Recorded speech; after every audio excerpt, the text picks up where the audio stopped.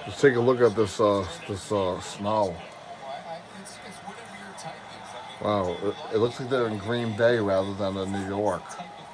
Well, not New York, New Jersey. It's not really snowing here on Long Island, but wow, this is this is a lot for uh, just December first. Again, is this a Packers home game or a Giants home game?